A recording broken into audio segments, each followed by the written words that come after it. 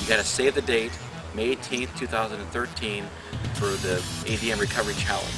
Are you up for the challenge? Don't miss the ADM Recovery Challenge. Get ready for the challenge. Will I see you at the challenge?